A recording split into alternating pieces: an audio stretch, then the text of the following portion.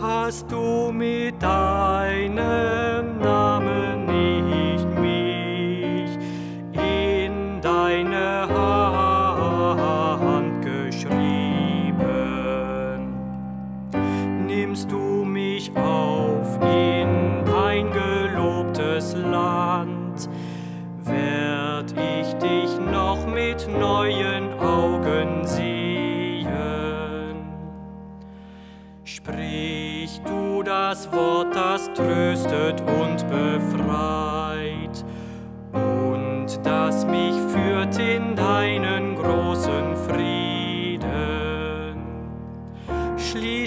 das Land, das keine Grenzen kennt, und lass mich unter deinen Kindern leben. Sei du mein täglich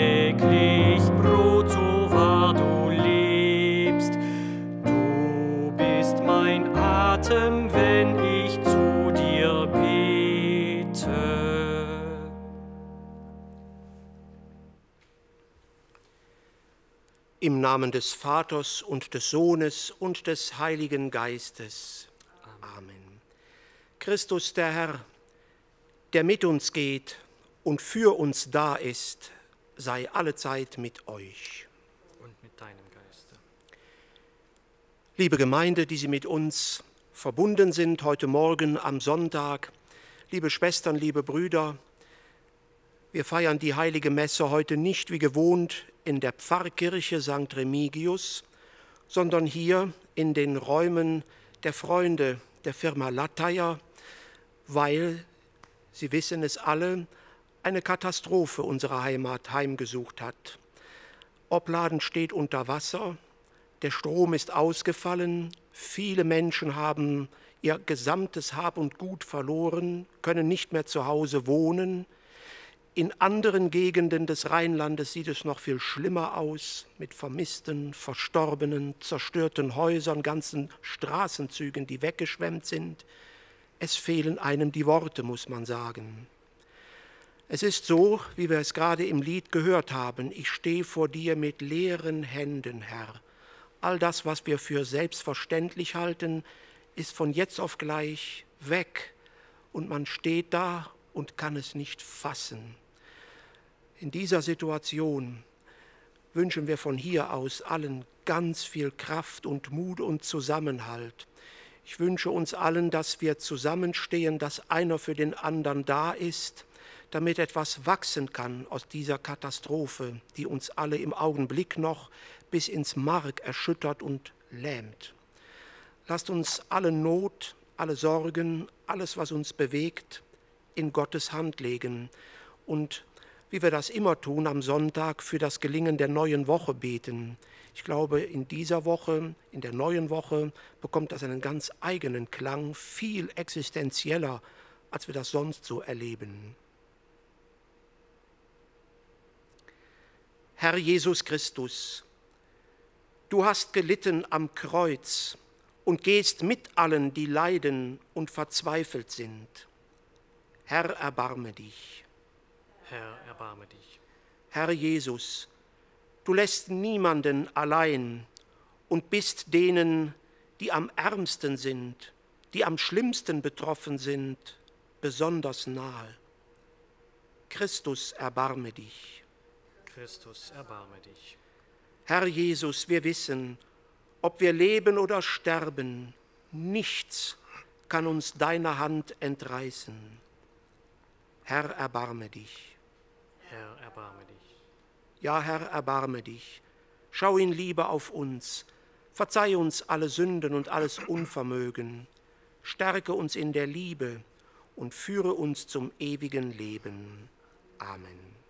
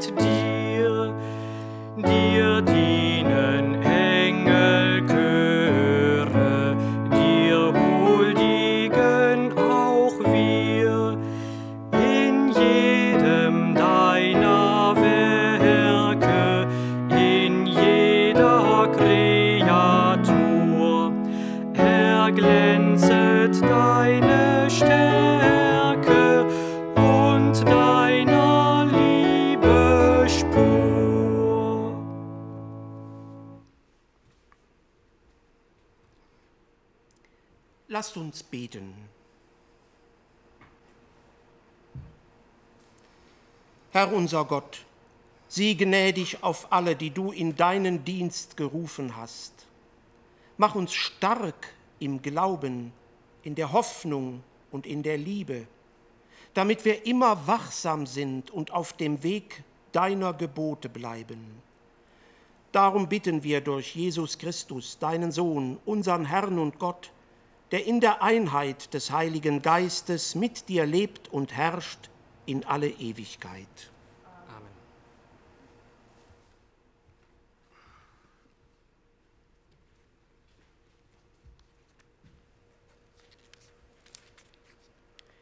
Lesung aus dem Buch Jeremia. Weh den Hirten, die die Schafe meiner Weide zugrunde richten und zerstreuen. Spruch des Herrn. Darum, so spricht der Herr, der Gott Israels, über die Hirten, die mein Volk weiden. Ihr habt meine Schafe zerstreut und sie versprengt und habt euch nicht um sie gekümmert. Jetzt kümmere ich mich bei euch um die Bosheit eurer Taten, Spruch des Herrn. Ich selbst aber sammle den Rest meiner Schafe aus allen Ländern, wohin ich sie versprengt habe. Ich bringe sie zurück auf ihre Weide, und sie werden fruchtbar sein und sich vermehren. Ich werde für sie Hirten erwecken, die sie weiden, und sie werden sich nicht mehr fürchten und ängstigen und nicht mehr verloren gehen. Spruch des Herrn. Siehe, Tage kommen, Spruch des Herrn, da werde ich für David einen gerechten Spross erwecken er wird als König herrschen und weise handeln und Recht und Gerechtigkeit üben im Land. In seinen Tagen wird Juda gerettet werden. Israel kann in Sicherheit wohnen. Man wird ihm den Namen geben, der Herr ist unsere Gerechtigkeit. Wort des lebendigen Gottes. Dank sei Gott.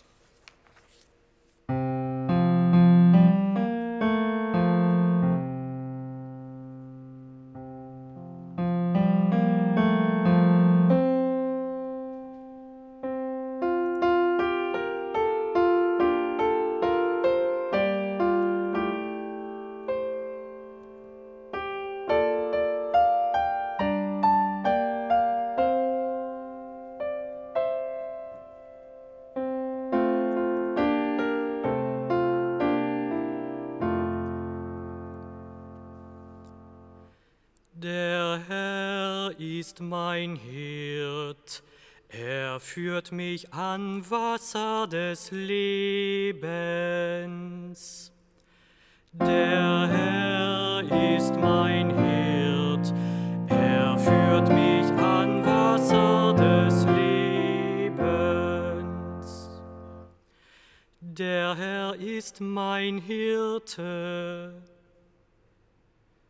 nichts wird mir fehlen. Er lässt mich lagern auf grünen Auen und führt mich zum Ruheplatz am Wasser. Der Herr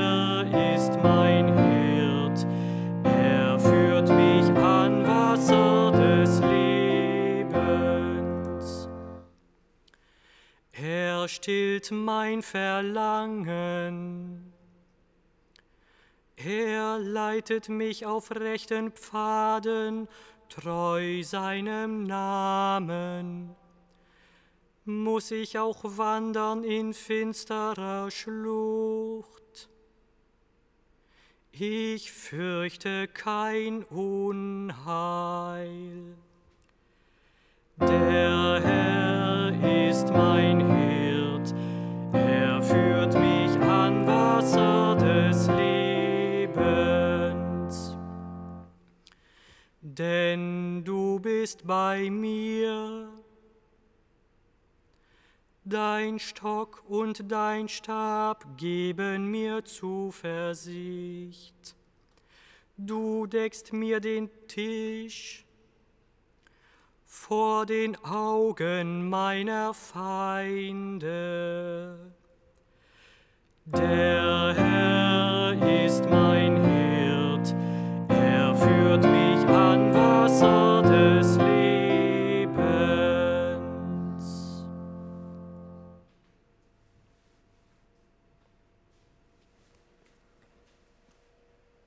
Lesung aus dem Brief des Apostels Paulus an die Gemeinde in Ephesus. Schwestern und Brüder, jetzt seid ihr, die ihr einst in der Ferne wart, in Christus Jesus, nämlich durch sein Blut, in die Nähe gekommen. Denn er ist unser Friede. Er vereinigte die beiden Teile, Juden und Heiden, und riss die trennende Wand der Feindschaft in seinem Fleisch nieder.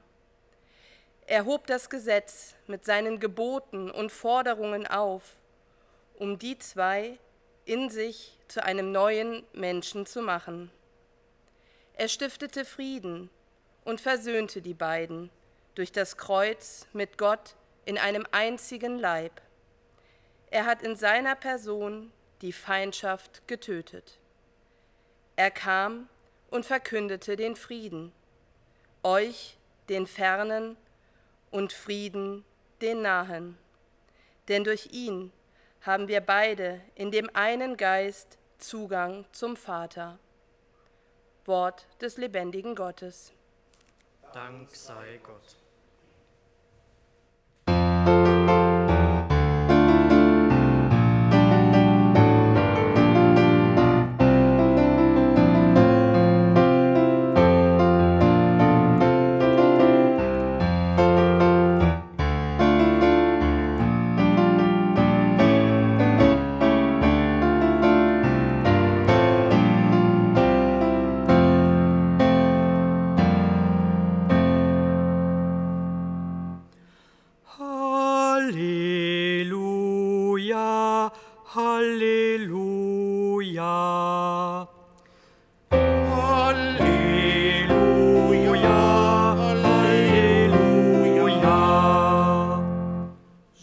Spricht der Herr, meine Schafe hören auf meine Stimme, ich kenne sie und sie folgen mir.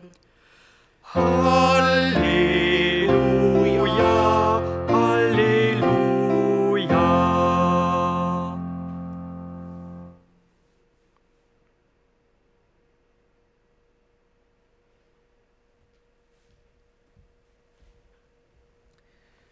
Der Herr sei mit euch Und mit deinem Geiste. aus dem heiligen Evangelium nach Markus. Ehre sei dir, o Herr. In jener Zeit versammelten sich die Apostel, die Jesus ausgesandt hatte, wieder bei ihm. Und sie berichteten ihm alles, was sie getan und gelehrt hatten. Da sagte er zu ihnen, Kommt mit an einen einsamen Ort, wo wir allein sind, und ruht ein wenig aus. Denn sie fanden nicht einmal Zeit zum Essen, so zahlreich waren die Leute, die kamen und gingen. Sie fuhren also mit dem Boot in eine einsame Gegend, um allein zu sein. Aber man sah sie abfahren und viele erfuhren davon. Sie liefen zu Fuß aus allen Städten dorthin und kamen noch vor ihnen an. Als er ausstieg, sah er die vielen Menschen und hatte Mitleid mit ihnen, denn sie waren wie Schafe, die keinen Hirten haben. Und er lehrte sie lange. Evangelium unseres Herrn Jesus Christus. Lob sei dir, Christus.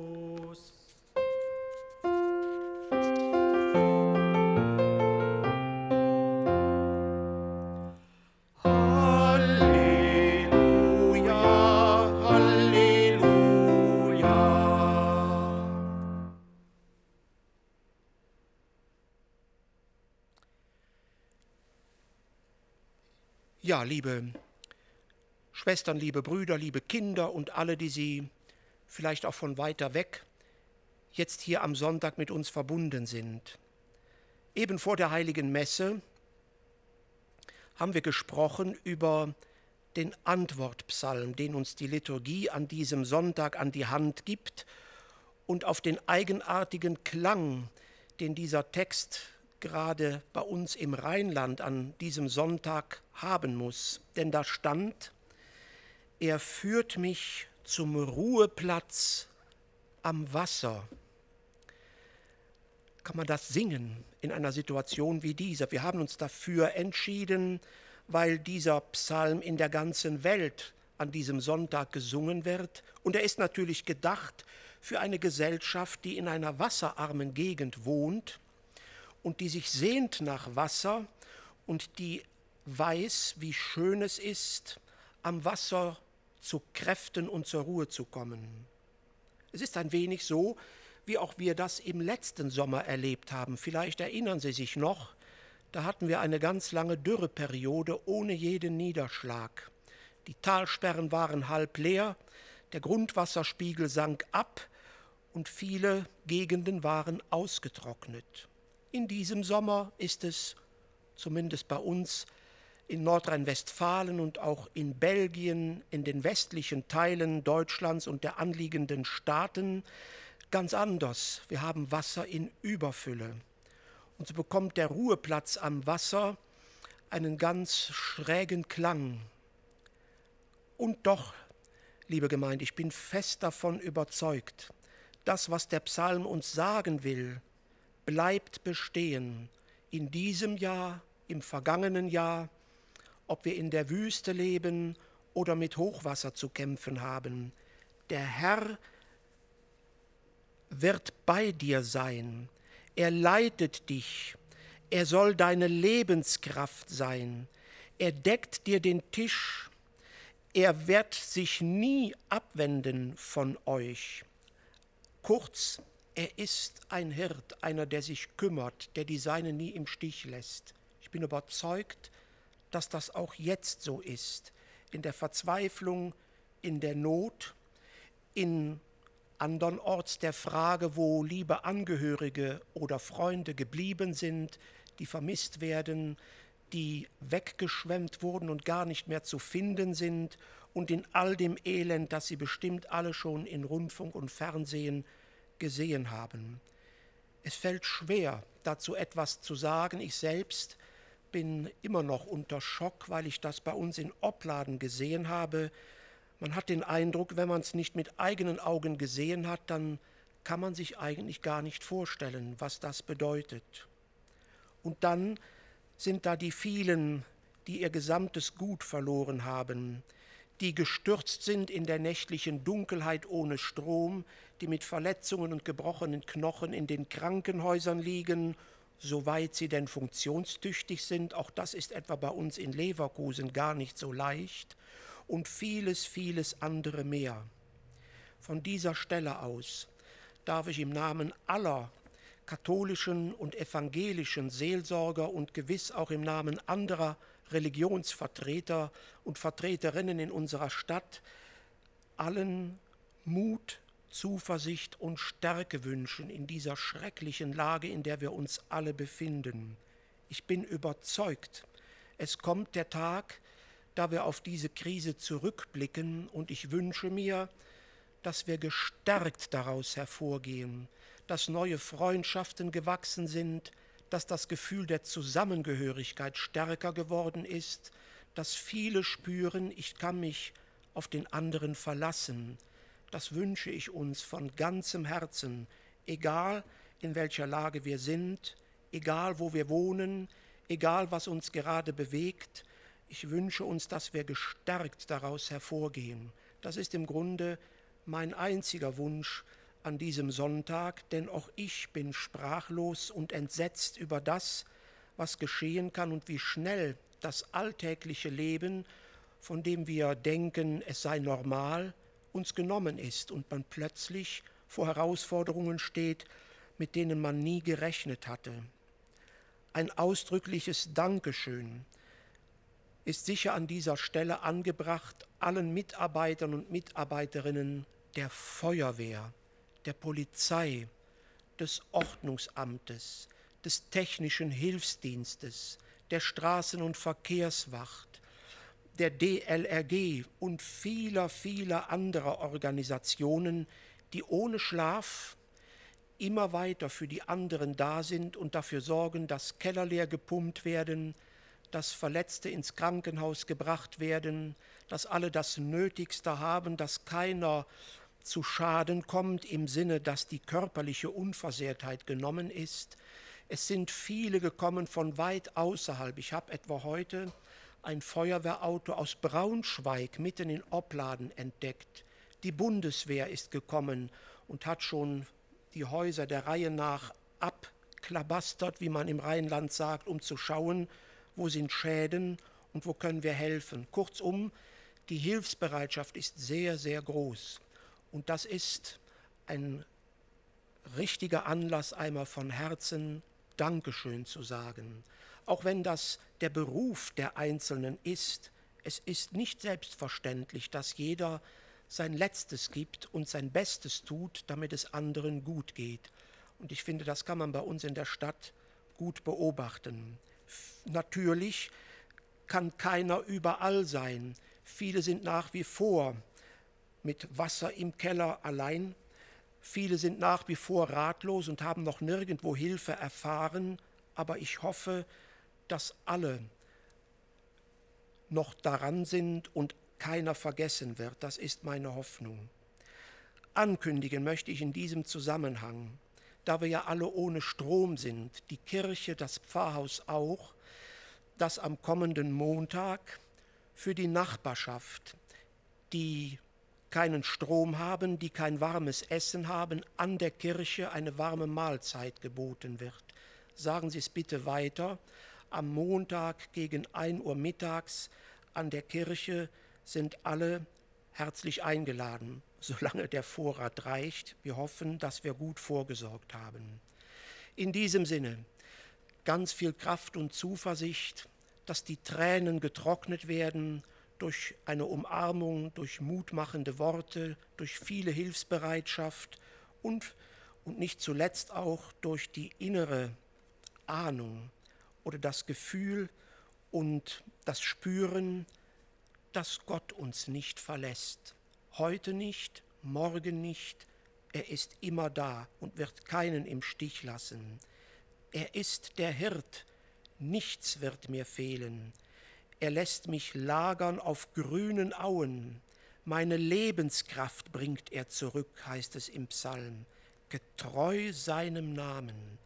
In diesem Sinn von hier aus ganz viel Trost, Hoffnung und Zuversicht, soweit man das in dieser Stunde und von diesem Ort aus sagen kann. Liebe Grüße an alle im Namen aller, die in der Seelsorge stehen, katholisch, evangelisch, freikirchlich, orthodox, im Namen der muslimischen Geistlichen, der buddhistischen Gemeindemitglieder, der jüdischen Freunde und aller anderen, die wir an Gott, an eine Macht glauben, die uns trägt und hält. Amen.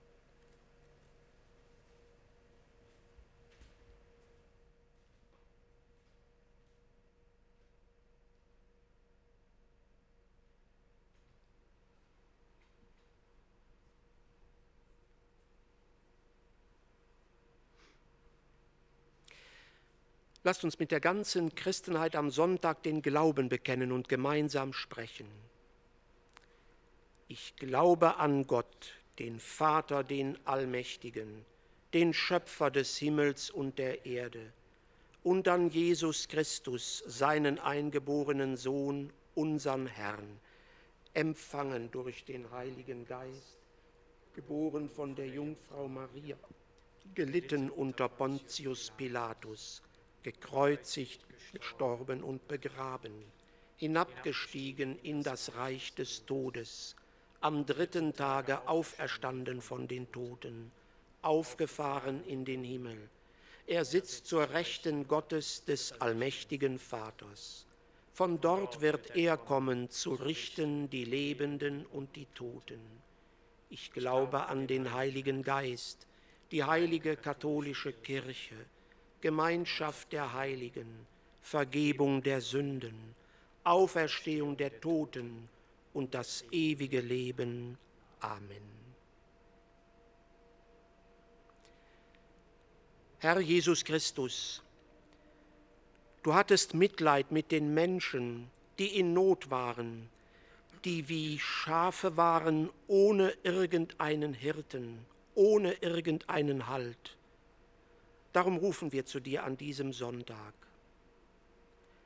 Stärke und behüte alle, die von der Naturkatastrophe in unserem Land betroffen sind. Christus, höre uns. Christus, erhöre uns. Bewahre vor Verzweiflung alle, die Hab und Gut verloren haben, deren Wohnung oder Haus unbewohnbar geworden ist. Christus, höre uns. Christus, erhöre uns. Stärke und segne alle in den helfenden Berufen und vergilt ihnen all ihre Mühe, all ihre Tatkraft, die sie zum Wohl der Allgemeinheit einsetzen. Christus, höre uns. Christus, erhöre uns. Hilf uns allen, stark zu werden durch diese Katastrophe, näher zusammenzuwachsen und an Lebenserfahrung reicher aus diesen Tagen in eine neue Zukunft gehen. Christus, höre uns. Christus, erhöre uns. Sieh auf alle Verletzten, auf alle Verzweifelten, auf alle, die im Krankenhaus sind und auf alle, die den Tod vor Augen haben. Christus, höre uns. Christus, erhöre uns. Nimm schließlich zu dir auf die Verstorbenen, die Ertrunkenen, die Verschütteten, die Vermissten, um deren Leben niemand weiß, und stärke alle Trauernden und Weinenden. Christus höre uns. Christus erhöre uns. Herr Jesus, in unserer Not stehen wir mit leeren Händen vor dir. Fülle du sie, bleibe bei uns und stärke uns. Darum bitten wir dich, denn du lebst und gehst mit uns heute und bis in Ewigkeit. Amen.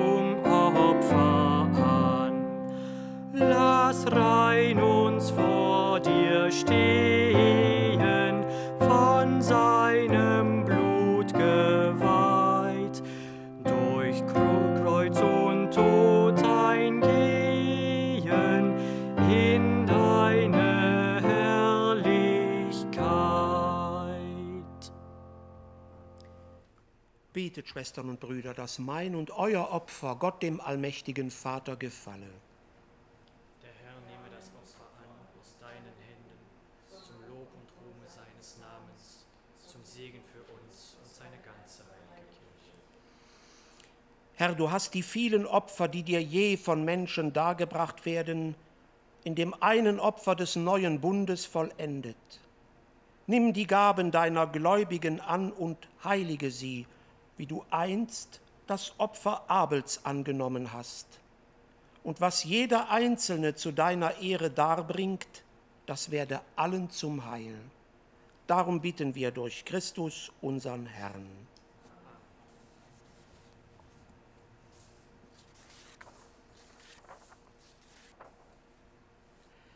Der Herr sei mit euch. Und mit deinem Geiste, Erhebet die Herzen. wir haben sie beim Herrn. Lasset uns danken dem Herrn, unserem Gott. Das ist würdig und recht. Wir danken dir, Vater im Himmel, und rühmen dich durch unseren Herrn Jesus Christus. Denn durch seine Geburt hat er den Menschen erneuert, durch sein Leiden unsere Sünden getilgt, in seiner Auferstehung den Weg zum Leben erschlossen und in seiner Auffahrt zu dir das Tor des Himmels geöffnet.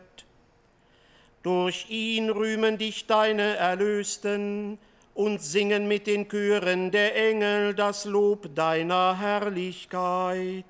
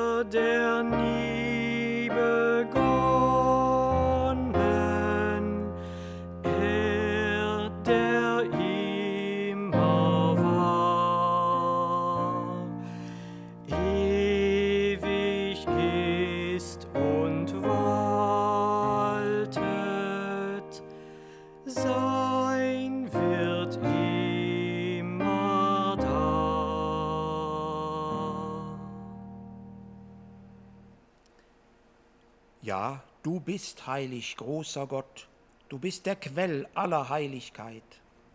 Darum kommen wir vor dein Angesicht und feiern in Gemeinschaft mit der ganzen Kirche den Sonntag, den ersten Tag der Woche als den Tag, an dem Christus von den Toten erstanden ist. Durch ihn, den du zu deiner Rechten erhöht hast, bitten wir dich. Sende deinen Geist auf diese Gaben herab und heilige sie, damit sie uns werden Leib und Blut deines Sohnes, unseres Herrn Jesus Christus. Denn am Abend, an dem er ausgeliefert wurde und sich aus freiem Willen dem Leiden unterwarf, nahm er das Brot und sagte Dank, brach es, reichte es seinen Jüngern und sprach, Nehmet und esset alle davon, das ist mein Leib, der für euch hingegeben wird.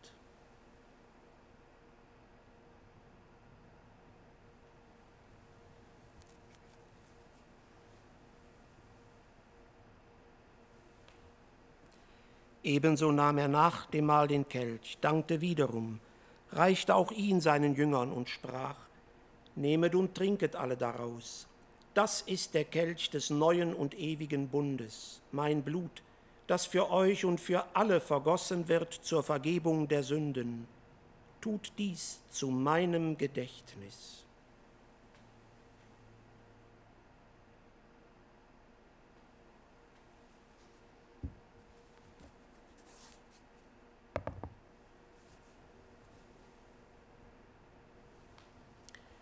Geheimnis des Glaubens. Deinen Tod, o Herr, verkünden wir, und deine Auferstehung preisen wir, bis du kommst in Herrlichkeit. Darum, gütiger Vater, feiern wir das Gedächtnis des Todes und der Auferstehung deines Sohnes und bringen dir so das Brot des Lebens und den Kelch des Heiles dar. Wir danken dir, dass du uns berufen hast, vor dir zu stehen und dir zu dienen. Wir bitten dich, schenke uns Anteil an Christi Leib und Blut und lass uns eins werden durch den Heiligen Geist. Gedenke deiner Kirche auf der ganzen Erde und vollende dein Volk in der Liebe, vereint mit unserem Papst Franziskus, unserem Erzbischof Rainer und allen Bischöfen, unseren Priestern und Diakonen und mit allen, die zu einem Dienst in der Kirche und an den Menschen bestellt sind. Gedenke unserer Brüder und Schwestern, die entschlafen sind, in der Hoffnung, dass sie auferstehen. Nimm sie und alle, die in deiner Gnade aus dieser Welt geschieden sind, in dein Reich auf, wo sie dich schauen von Angesicht zu Angesicht. Vater, erbarme dich über uns alle, damit auch uns das ewige Leben zuteil wird, in der Gemeinschaft mit der seligen Jungfrau und Gottesmutter Maria, mit ihrem Bräutigam, dem heiligen Josef, mit deinen Aposteln, und mit allen, die bei dir Gnade gefunden haben von Anbeginn der Welt, dass wir dich loben und preisen durch deinen Sohn Jesus Christus. Durch ihn und mit ihm und in ihm ist dir Gott allmächtiger Vater in der Einheit des Heiligen Geistes alle Herrlichkeit und Ehre jetzt und in Ewigkeit.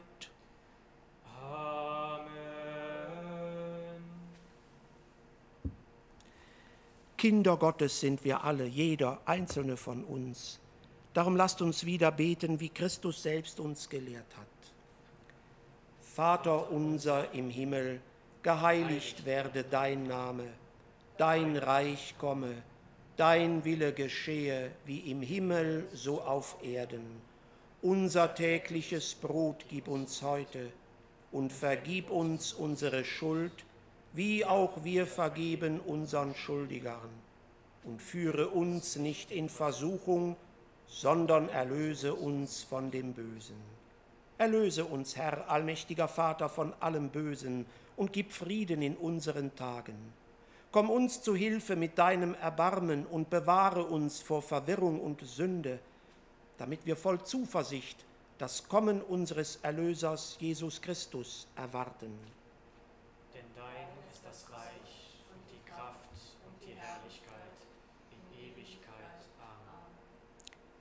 Der Herr hat zu seinen Aposteln gesagt, Frieden hinterlasse ich euch, meinen Frieden gebe ich euch.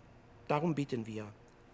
Herr Jesus Christus, schau nicht auf unsere Sünden, schau auf den Glauben deiner ganzen Kirche und schenke ihr nach deinem Willen Einheit und Frieden. Der Friede des Herrn sei allezeit mit euch. Mit so, der Friede sei mit euch allen.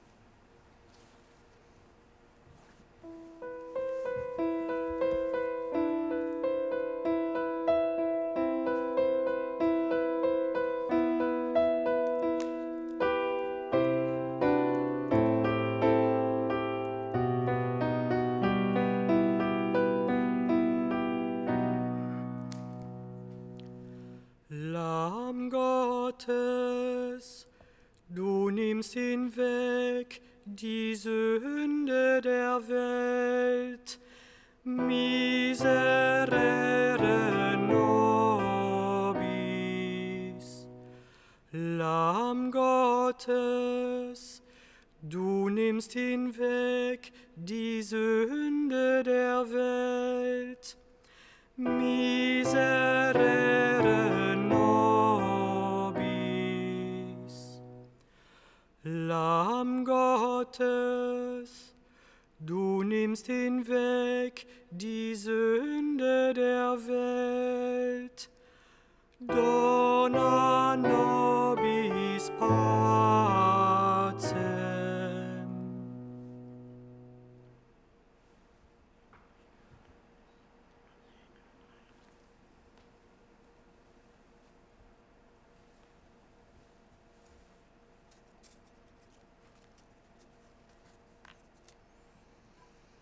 Seht das Lamm Gottes, das hinwegnimmt die Sünde der Welt.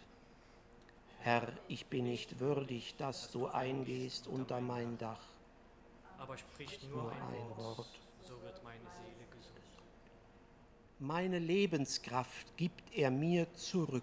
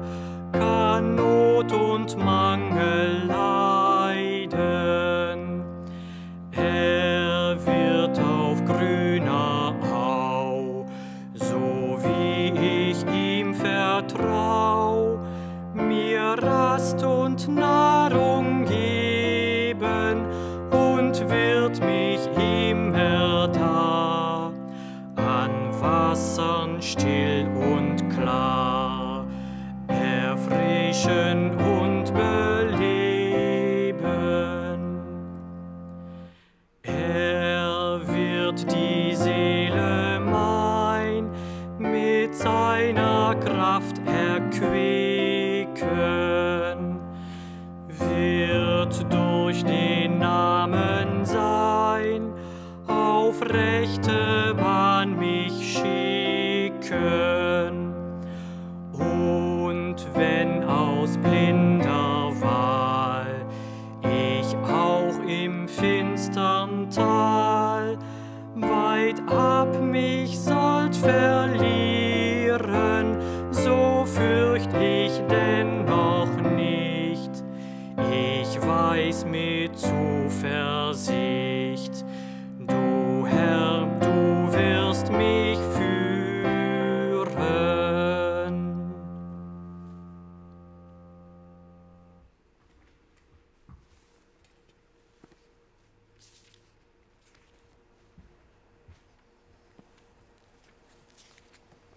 Lasst uns beten.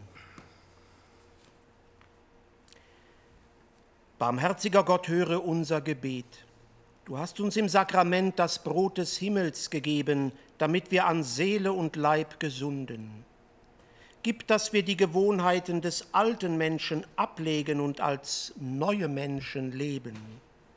Darum bitten wir durch Christus, unseren Herrn.